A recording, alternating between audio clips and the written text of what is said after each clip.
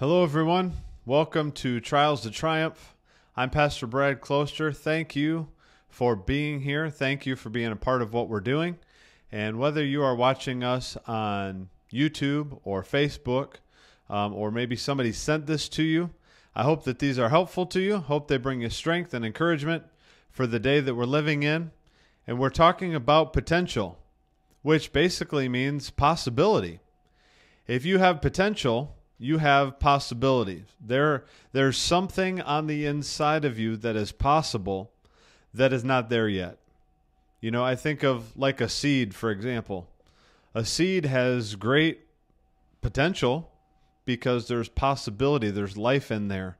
And in that seed, it could grow a great a great large tree that all started with one little tiny seed and it's the potential that was inside that seed that brought that to life. And so that's what's on the inside of you and I. You and I have potential on the inside of us, and stored down deep, we can do something great that I believe that God wants to do in each and every one of us, but we probably don't even realize uh, how powerful the plans that God has for us are. Now, I want to read you a verse tonight uh, Second Corinthians chapter four is where we're going to be. Second Corinthians chapter four, and I'm going to wor- uh, look at verse eighteen. So Second Corinthians chapter four, verse eighteen. If it's safe that you can do this and look at it with me, go ahead. If you want to just uh, listen along, you're welcome to do that as well. This is what it says. While we do not look at the things which are seen, but the things which are not seen. For the things which are seen are temporary, but the things which are not seen are eternal. Now, this is very difficult, I know, because the things we can see are right in front of our face. And everything that your eyes take in today, everything from the minute you wake up until the minute you go to bed, most of all of that is temporary. And most all of that has no eternal value.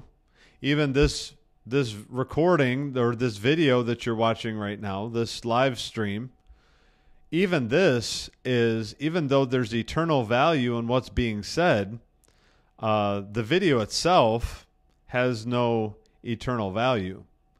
And so the things that we can see everything we can see when you look around this room, when you look around wherever you're sitting, it's all temporary. And it's that means it's not it's not going to last. And the things which we see with our natural eye is temporary, but the things we don't see with our natural eye, the things that we see with our spiritual eye, those are the things that are going to last. But see what happens with our potential is we end up looking at all the things we can see, and if we can see it, or if we've experienced it, then we try to define what the rest of our life will look like based on something we've already seen or experienced.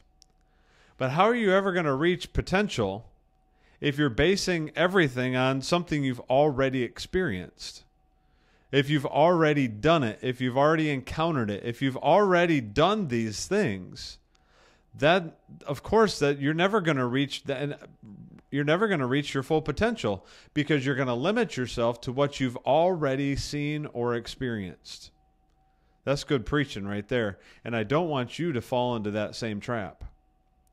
See, if we are constantly looking at ourselves and constantly looking with what we see right in front of us, it's impossible that we'll ever reach where God has for us because we're focused on things that are temporary. We're focused on things that are are right in front of our face but aren't going to last long. But instead, we need to focus our eyes, our attention on the King of Kings, on the Lord of Lords, who planted potential, who created us in his image, and he caused us to be more than overcomers in this life. In fact, book of First Corinthians says that God chose the foolish things of the world. Uh, he chose those things to take down the things which are which are mighty. And that's where you and I come in. Because we want to say, well, I'm not good enough. Well, you know what? If you're not good enough, then you fit exactly into the category of somebody who God can use. Because God said He would use the, the foolish things or the small things or the insignificant things to do to accomplish great things on this earth. And so you and I must learn to stop looking at ourselves because what do you see? Let's be honest. What do you see when you look in the mirror? You probably don't look in the mirror and say, What a mighty man of God. What a mighty woman of God. You probably look in the mirror and you, you name off all the reasons why you're not able, all the reasons why you're not good enough, all the reasons why you'll never measure up, or whatever the whatever it is that you come up with for yourself. That's what we see.